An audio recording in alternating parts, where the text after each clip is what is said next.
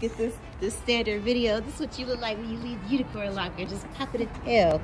Popping as hell. Hey guys, I'm super excited to be back today with this video especially. Welcome back to the Unicorn Locker. Thank you for visiting. Be sure to like, comment, subscribe, and let me know if you enjoy these kind of videos so I can be sure to do more of them. And my beautiful client here, we're just to go ahead and jump right into it. My beautiful client here is going out for her birthday dinner, so I'm filling in her eyebrows using the either the LA Girls eyebrow pencil or that or the um, Anastasia Beverly Hills. I've been loving LA Girls eyebrow pencil lately and I'm just feathering them in. She has really nice brows, so I just want to give her gentle hair-like strokes so they look super natural. And we're to go ahead and continue. Wipe off her face and clean it with a makeup wipe. These are from TJ Maxx. Love that store for makeup shopping. And I'm going to go in with the Tarte um, Shape Tape Concealer. I have, I think this is Rich Sand and Tan Sand. Both of these on my hand. And I'm going to kind of blend the shades together. Sorry if you guys hear me swallowing here. I'm drinking a little bit of water. Um, I'm going to blend these shades together and uh, use the deeper end of the blend that we made under her arch, or I'm sorry, like kind of closer to her nose. And then under her arch, we're going to use the lighter shade. That's going to lift her part, or that part of the brow, and then near the inner part of her nose, it's going to deepen it and almost give it a contour. A natural contour without having to add anything extra right there and I'm using a flat concealer brush. This one is from Sephora. I think it's the perfect concealer brush. It was discontinued a while ago, but I bought a whole bunch of them before they went out. And I like to kind of drag it in a flat motion because I feel like it gives me an easier application and also a smoother application. You guys will see that this is really the only time that I drag a product on the face is for the brows.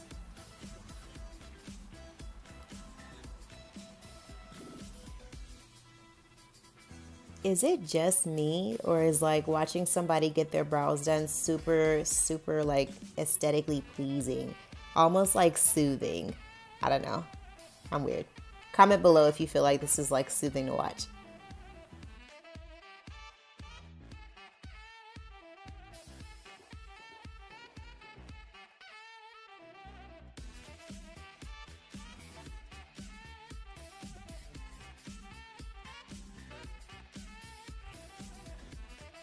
As we do this, guys, we're also going to go ahead and blend out with a fluffy eyeshadow brush. This one is just from an Amazon set that I got, and I really, really enjoy it because it gives me the ability to give myself a very clean and even canvas. So if you look at her eyes under her brows, it's very flat looking with no definition, which was the goal aside from that deeper part under her brow. Very subtle though.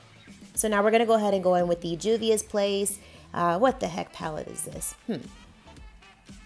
Okay, so I actually just went and looked for that palette. Could not find it um, in my room here, but I'm to go ahead and list it below. I'm using the orange shade from it. I'm to go ahead and show you guys here in a second what the palette looks like. We're to go ahead and blend this orange shade um, right where, let's say she was looking straight at us, right to where we would not be able to see her eyelid, where her eye would crease. So that's where you want to start with the orange and take it right above where you would be able to see the orange if her eye were to crease. So essentially, I don't want to take it any higher than right above her crease and setting it into her crease. We're packing this orange in because we want it to pack a punch, literally like just orange punch. And then this next color that we're to go ahead and go in with is really to make this whole look pop. She was wearing some neutral colors, white, olive, burnt orange. Love that color story, especially for somebody's birthday. That's one of my favorites to do and I want to make sure to accentuate that but bring light to her face. So this is the palette. We're going to go ahead and drop that hot magenta sort of pink there right in the crease as well right below right below that orange so I kind of want the orange to still be the basis of everything and then as we uh, blend it out you see that the color starts to rise a little bit and that's exactly what I'm doing with the brush I'm allowing the bristles to kind of tap a little higher than the orange so I'm directly placing it below the orange and I'm moving my hand up slightly so the color will distribute right above it. And I want to make sure that the pink is prominent, but I don't want to lose the orange. So you're going to see here that we're going back in with the orange just to make sure that it comes back onto our lid and that we don't lose it.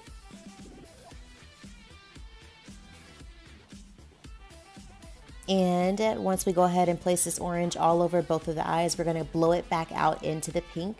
So everything is blending flawlessly as we see here, yes. And now we're gonna go ahead and um, take our, what is this, P. Louise eyeshadow base. I believe the shade I have is number five. I want a deep shade as a concealer slash eyeshadow base. And I'm also working on an eyeshadow primer as well, very similar to this one, and I'm super excited for you guys to see it.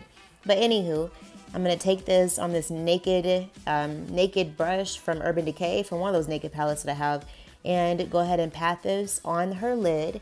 And this is gonna kind of give us like a creamsicle drip wink shade and a creamsicle like an orange shade on her lid to lighten it up and give us a base to stick this next shade on with. And please make sure that you guys pat these products in. You don't want to swipe because when you swipe a product on top of another product, it really disturbs it. So we're going to go ahead and take one of those brushes that we had from earlier, take a little bit more of um, that orange that was already on the brush and just tap it to blend out the concealer slash eyeshadow base on her lid. So we want this to blend right into that, that orange slash pinky sunset goodness that we got going on. We don't want it to be a cut crease. She doesn't do cut creases. She really loves a smoky eye. So we're to give her some smoke here. You see that I'm applying, uh, we're bringing all the smoke. you see that I'm applying a little bit more of the eyeshadow base to her eye just to make sure that we give that yellow, that yellow from that Juvia's Place palette, something to stick to and pop with. Popping, popping, boo. Get on and poppin'. Chris. Okay, um, so now we're looking like a sunflower, sunflower with some glitter glue. And we're gonna take this Non-Stop Glitz Fix glitter glue from the Unicorn Locker Cosmetics, tap it on our hand or brush it on our hand from the wand. It's clear and it's a balm clear gel that dries super quick. Take an angled fluffy brush.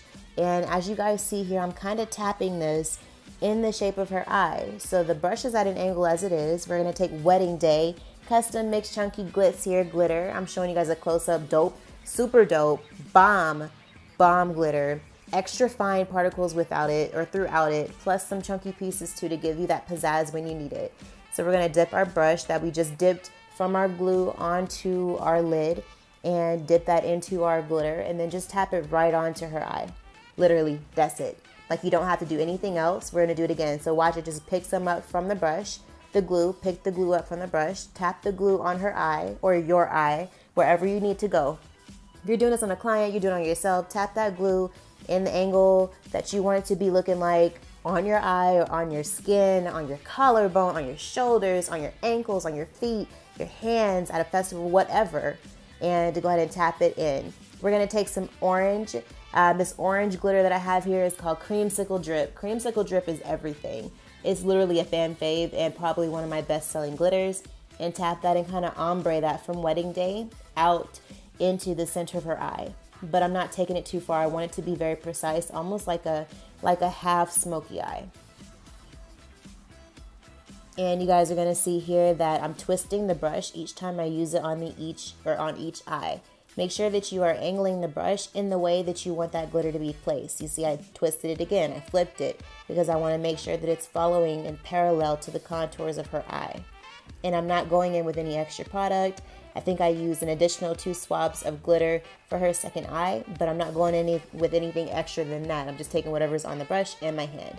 And we're gonna go ahead and highlight here with this Natasha Denona shadow from that palette and I had a fluffy brush. As you guys see here it was the same one I placed that yellow on with but I saw it was making my glitter fall so I changed. And speaking of glitter falling I'm to show you guys a super easy hack here for long nails.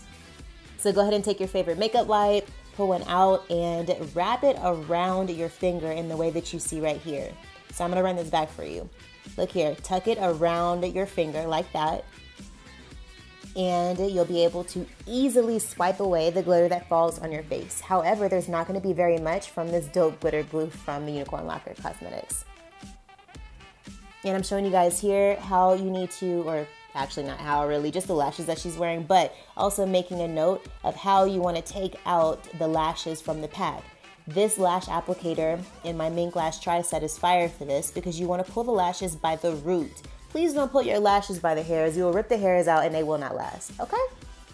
Twist it like that, put your glue on, pop your lashes on, you're good to go. And so we're gonna go ahead and hydrate slash prime her face with the Too Faced um, Hangover Primer. This is a moisturizing primer. I like to use this for my oily girls because their skin is already producing enough natural oils. It doesn't need the extra hydration from the First Aid moisture that I use on my dry clients. And I'm gonna go ahead and take her three foundation shades, yes, three. So really you can only use, you can use one or two um, at home. And if you have two, one that's too dark for you and one that's too light, go ahead and use them both just like this. So um, you can use both of them to mix together and create your in-between shade. I'm going to take the lightest shade and place it on the center of her face. So towards the inner corner of her eye, right in the very, very center of her nose and her eyebrows. So if you see there in the very center, there's a lighter shade than there is above her eyebrows. And that shade is also right below her eyes. And then going below that, we see that she has, um, you see that she has a medium tan shade or a medium brown shade that I'm using, and I'm using an even deeper shade along the perimeter of her face. This reason is so that way I can naturally bring back in the dimension that foundation does a good job taking away. So like if you guys think about it, foundation is really here to mute out any imperfections on your skin. It's not going to bring back the things you love, like your bomb cheekbones that she has, or anything like that. So now I'm going to take the Real Techniques Expert Face Brush and blend this bad boy out. If you guys see here, it's getting a little bit dry on her face because this is a very, very matte foundation. By the way, the Jouer Cream Foundation, something like that, um, is very, very matte and I love using it for that reason on oily girls. So I'm to take my Evian facial water, fancy water, too expensive water spray and spritz it on her two different times. And it's gonna let me blend everything in flawlessly. And I'm also bouncing back over, a bouncing to another Real Techniques brush. This is a super tiny um, perfecting. I wanna say this came in a set and it was for color correcting, but I don't use it for that. I just use it for blending out concealer in small places. So I use that under her eye and I go back in with our foundation brush and blend out around her neck. Please make sure that you guys take your foundation down your neck. Don't have yourself out here looking like you have a mask on, whether your skin, mask off. Take your mask off, sis. Don't look like you have a mask on, whether your skin is super light or not, okay? It's not cute. Moving on, we're gonna go ahead and take our concealer again. We're going back in with our Tarte Shape Tape. Love it, love it, love it. And we're gonna take one of the shades that we mixed together probably that mix that we had earlier. And we're gonna go ahead and bring that right under her eye. Now notice guys that it may look like I'm applying a lot, but please, please notice that I am evenly applying a generous amount. There's a difference between just applying a lot and evenly applying a generous amount. So as you see here, there really are no gaps in between the concealer that I'm using under her eye and I'm also being sure to paint it, literally paint it perfectly where I need to go above her forehead and between her brows, all that. Keep in mind that we said it's very important to make sure that the makeup is smooth. So part of the foundation, or literally the way the foundation looks, the way the concealer looks, the way that it looks after the fact, is part of the way you lay it down, much like you would lay the foundation of a house or a roof. You have to make sure that it's laid evenly or it's gonna start drying exactly where it was placed. And if there were places on your face where it should have been under the eye and it wasn't under the eye, you'll be able to see that because it's going to start drying at different times, if that makes sense. You need the entire layer to dry all at the same time to give you the full effect that the manufacturer of the product has has tried to give you when they formulated it, i.e. Tarte. So we're also going to go ahead and take that concealer blend that we have and also naturally add some contour back to her face too. We're gonna take that lighter shade right below her cheekbone and kind of carve it out. We're gonna take it in towards her mouth and use that small brush to blend out right by her mouth so there is no harsh line. And here I'm going in with Unicorn Locker setting powder. I'm super excited. I almost didn't say like the brand that it was. I was just gonna say setting powder. But I'm super excited to show you guys this. And I think I showed you in my last video that was back in like November. Gosh, way too long ago. But 2020 is a new year. So this setting powder is for deep ladies and I'm super excited for it because it kept her matte all night long. Her makeup lasted seven plus hours and I just, I live for it. And we're placing this along the sides of her nose specifically and pressing it in. Again, not dragging, but patting. Pat says, pat boo, pat, okay? And we're patting it in to make sure that it gives her an even coverage and I'm stamping it. And we're gonna go ahead and again stamp it in with that foundation brush. We're not adding any extra product. Please don't go in and add any product to your hand or your brush and go and try to do this. Just use the product that's already on there and the liquid that's on your brush is gonna kind of melt this powder into her face, giving that long, long last in wear.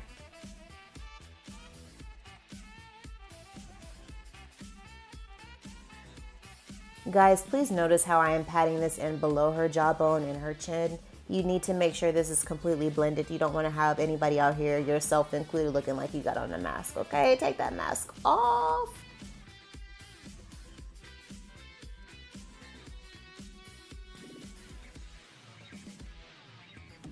We're gonna go ahead and go back in with the eyebrow pencil just to make sure that her brows are fully touched up, especially after all that powder that we had going on.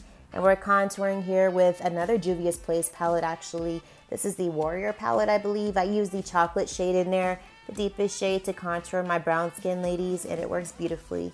And then I'm mixing an additional shade, I think it was a brown in there, with another shade in there to make sure that um, the, the shade is actually gonna look pretty on her skin and it's going to be partly nose contour. I'm just tapping a deeper shade there, not to really slim her nose or anything like that, but just to make sure that she has definition back into her face.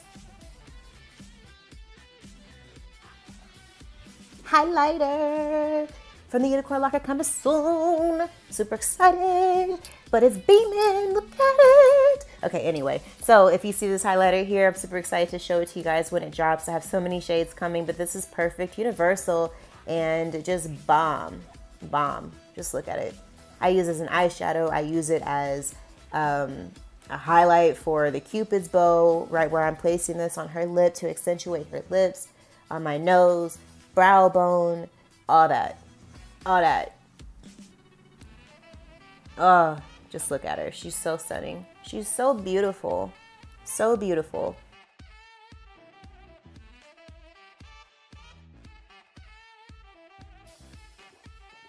If you guys have followed me for a while now, you know I love me some blush. So I'm going back in with that little Natasha Denona palette that I got a couple years ago from Sephora and taking an e.l.f. brush, tapping that hot pink shadow just kind of onto her cheek just to liven up her skin a little bit. We're going to tap it around her face a little bit too. Just kind of make it look like she's been out in the sun. Got that natural glow beautiful glow of a mother, especially.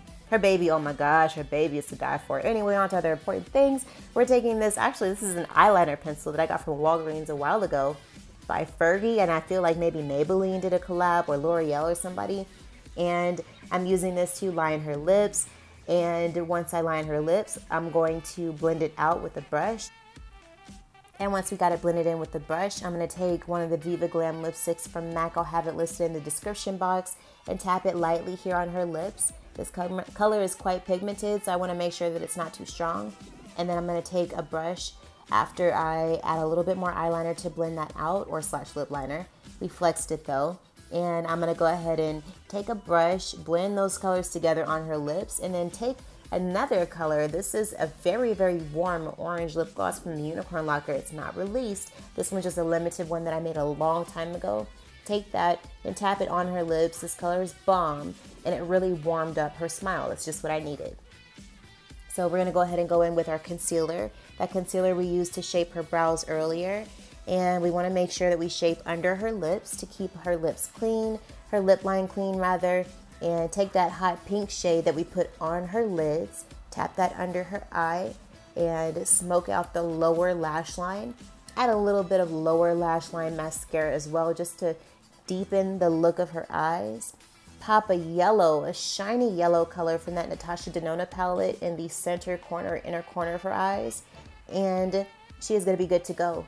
We also spritzed a little bit of Urban Decay spray on here, uh, patted that setting spray in with the foundation brush too, and that's what gave us this fantastic look. And I really hope that you guys enjoyed, and I just, I love it. I was in love. Thank you guys for hanging out with me. This video took me two hours to edit. Comment, like, subscribe, and I'll see you again soon. Mwah.